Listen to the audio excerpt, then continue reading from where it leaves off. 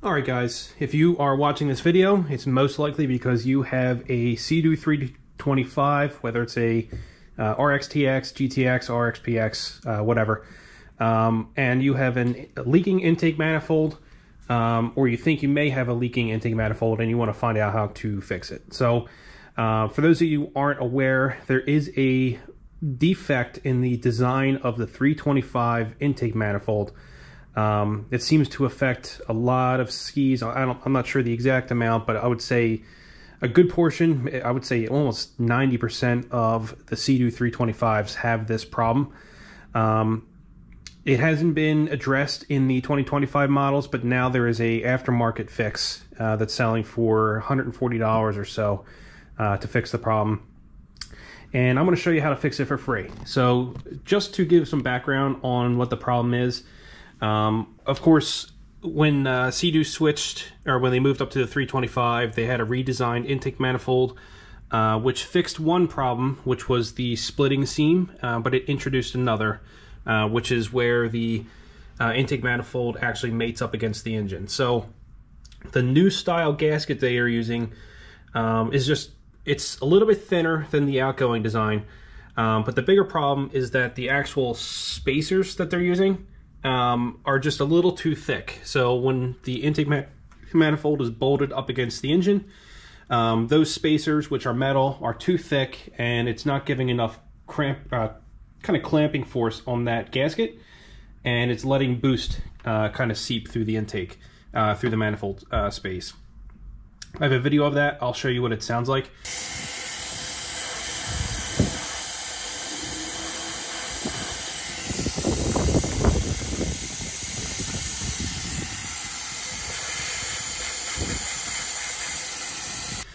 Uh, but essentially, in order to uh, test that, you'll need to do a boost leak test on your Sea-Doo. Um, I made a video about that.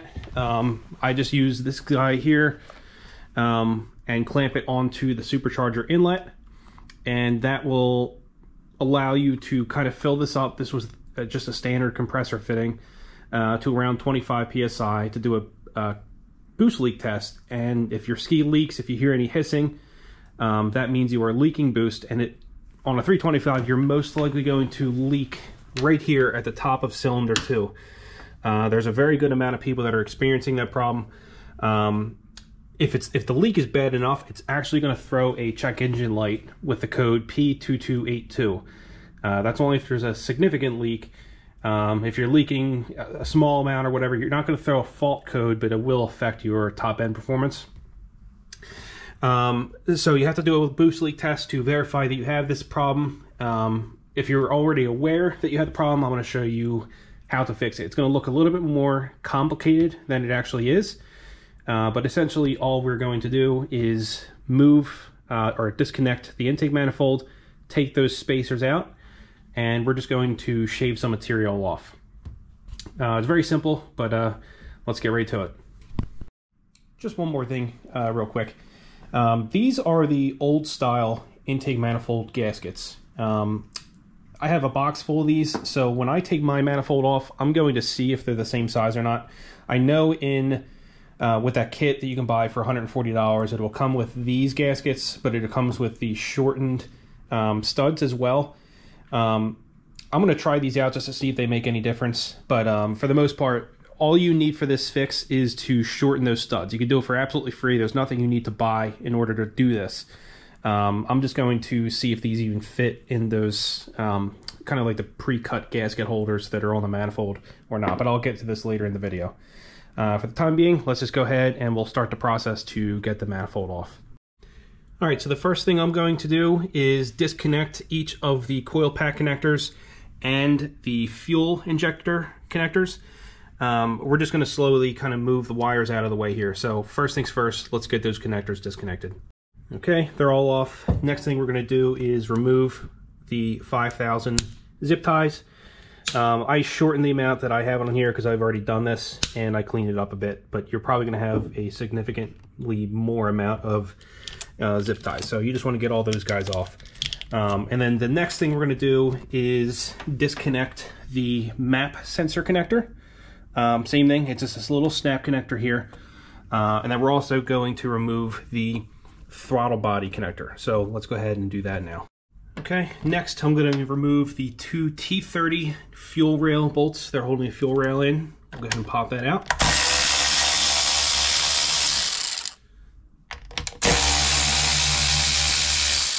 Just like that. All right, they're good to go. Now we're going to remove the hose connector holding on the intercooler tubing to the throttle body. Okay, now towards the back, the factory 325 will have a blow-off valve hose.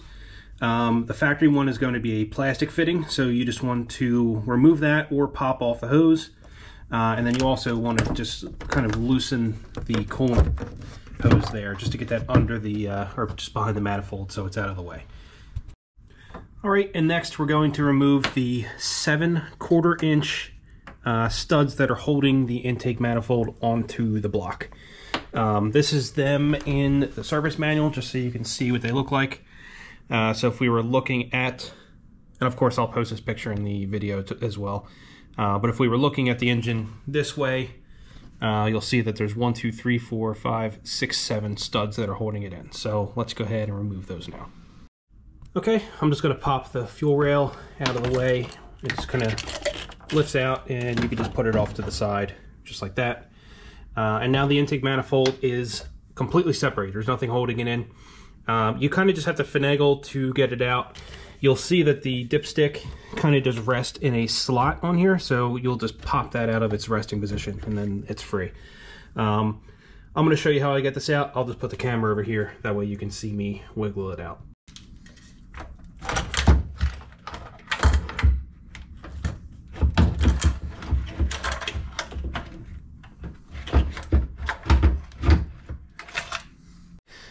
And here is the manifold uh, in the upright position. This is how it would sit in the engine, uh, but this is the problem area at the top. So I'm just gonna lay this kind of flat so I can do this one-handed. Um, but if you look close, you'll see where the problem is. And of course, like I said earlier, I, I fixed mine already, so you won't be able to see it here. Uh, but in the stock form, this is one of the studs. These studs, uh, the bottom lip, which is what you can see here, I know it's kind of hard to see because GoPro sucks at doing up close. Uh, but that's a lot flatter than it was, uh, or a lot thinner, I should say. This bottom piece is kind of like razor thin now, but it, as of when it came from the factory, that was a lot thicker. And when it's thicker, it actually sits beyond the gasket. So you can see mine is slightly uh, below flush with the gasket. Um, but when, when it was sticking up past the gasket, all of the clamping force was going right to the studs. There was nothing that was really um, squeezing down on the gasket to keep the air in.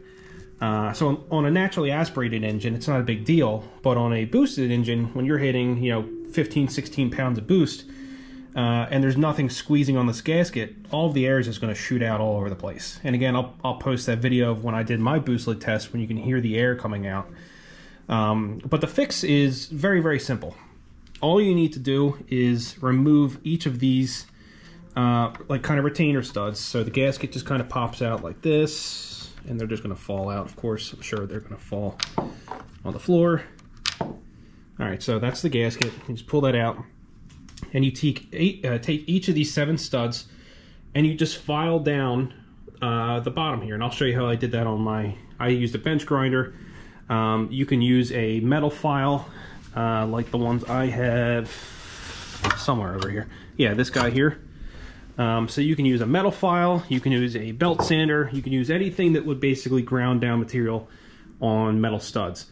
Um, so I'm going to show you how I did it on the bench, bench grinder, but what you need to do is ground it down to about 19 millimeters thick. The whole thing should be 19 millimeters thick. Um, actually, I'm going to put this down so I can show you with a caliber.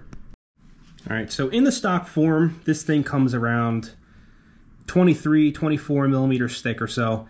And you can see this is when I adjusted. It's around 18.9, mil, uh, 19 millimeters. You want to aim for 19 millimeters. Um, that seems to be the sweet spot. Again, I, I did this modification when I right after I bought the ski, so it has about 40 hours or so of runtime with this mod, um, or this fix, I should say. And uh, it, the problem hasn't come back since. So you can see, like that's that's 22 about. So you can see just how much material needs to be shaven off uh, for this to work. But essentially, when you shave the material off, all you're doing is reducing the amount of uh, room that the stud has to back off of the block. And when you do that, you give more room to squeeze uh, the gasket. Obviously, the tighter the gasket, the more air that it can hold, the more boost it can hold, uh, and there's a less chance of uh, your gasket leaking some boost. So I'm going to show you how I did this on my bench grinder, um, I'm gonna, and then I'll show you how to do it on the uh, um, with the metal file as well. All right, so with a bench grinder, literally just turn this thing on, let it get up to speed.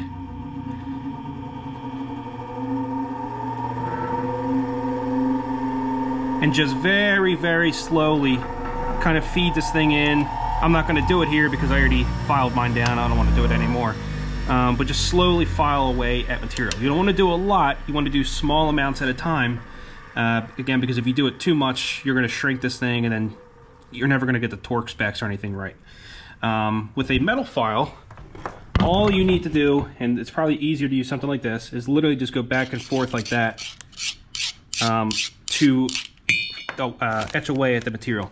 The only thing I have to say is when you do that, just make sure you try to keep this piece as flat as possible uh, because if you file on an angle like that, all you're going to do is put the top piece on and you're going to file away at an angle and it's never going to sit right. Um, so as you're filing, just keep checking your your uh, how long it is, uh, and then file away material until you get to the right spec. Around 18.9 to 19 millimeters is the sweet spot.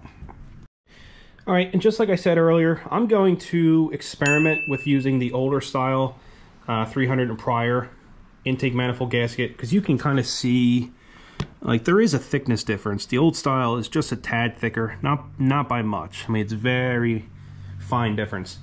Um, I'm going to try this on mine. If you want to do this to yours, I'll post the part number in the description. Um, but like I said, I, have been running um, with just the shaven studs for a year with 40 hours, and I had no more boost leaks up to 25 pounds, which is beyond what the supercharger pumps out anyway. Um, but either way, if you shave down your studs, uh, you should be all set. So let's go ahead and we'll get this thing lined up to put it back into the ski.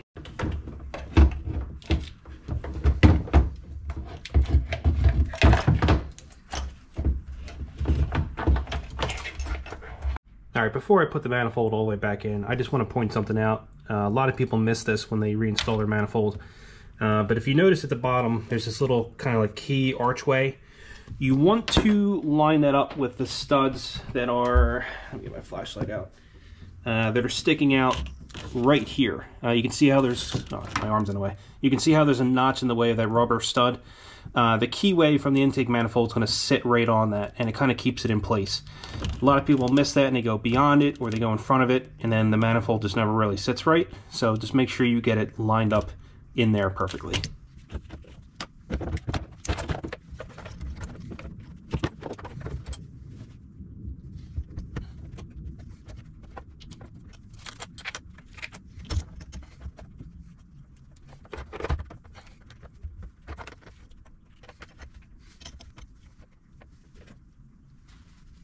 All right, and then uh, just before you push the intake manifold up against the block, just make sure that you reline up your uh, dipstick. It kind of just snaps into place just like that.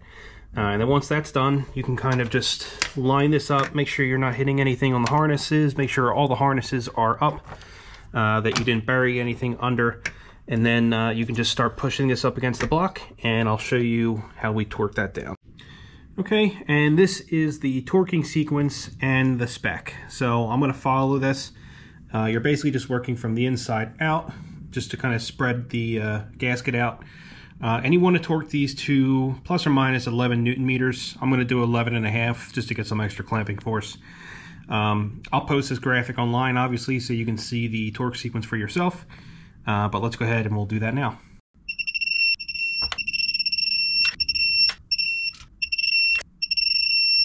All right, intake manifold is bolted on. Next thing is to just get your fuel rail back in. So the injectors will just line up. There is a gasket on them. Um, so you just want to kind of get those seated and then just push in on each one until the whole rail is snapped into place, just like that. and then uh, we can go ahead and put the logs on. There, there is a torque spec for these, um, but I just get them kind of decently tight. I don't really need to follow the spec on here. Uh, the spec for these is nowhere near as important as the one for the intake manifold. So let's get this tightened up real quick. Okay, and then beyond that, it's really just a fun game of reconnect everything you unplugged. So um, that is, you'll have your injector connectors, we'll pop those in. Um, and I'm not gonna do everything here because I'm gonna, uh, there's just a few in the way, but make sure you get your injectors, you have your coil packs, you have your throttle body connector, you have your map sensor connector, um, and then uh, that's pretty much it for connection wise. And then I'll show you how we can kind of clean this up with uh, zip ties and we'll reconnect the intercooler hose. All right, to clean everything up with zip ties, uh, by the way, if you work on Sea-Doos, it's worth having bags and bags and bags of zip ties because Sea-Doo loves to use them. Um, when you're putting zip, zip, ties back on, you want to make sure that you zip tie your blow-off valve hose. Um, Sea-Doo also puts a zip tie here on the throttle body wire just to eat up some slack. Uh, I would put that back on because you had to cut that off when we took the throttle body connection off. Um, and then beyond that, you just have to kind of tie up everything in here. Um, the fuel rail has a little mount you can barely see. Um, this is where the, the wires are going to be zip tied onto. So there's one, two, three, four of them. So we'll have four main zip ties that kind of just encapsulate this entire trunk of wires. Um, so let's go ahead and do that now. All right, everything's back together. Um, just to be safe, I'm going to do a boost leak test. Um, I know it's not going to leak because I already did the fix, like I said. If you want to know how to do a boost leak test your own on your own, um, I did make a video on how to do that. So you can see I just have the boost leak tester clamped onto the supercharger inlet. Um, I'm going to fill this up to 17, between 17 and 20 psi uh, because this operates at around 16.7 psi max. So if it's not leaking at 17 to 20, then it's definitely not going to leak um, when I'm demanding boost. So let's go ahead and crank this up.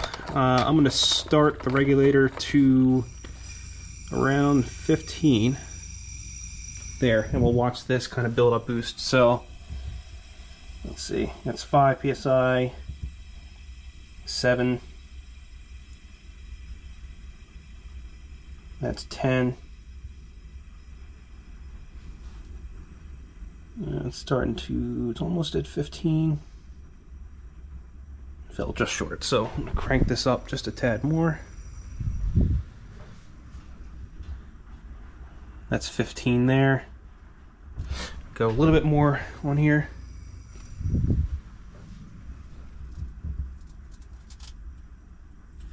Seventeen psi, and so far everything seems fine. So let's go ahead. We'll let this air out.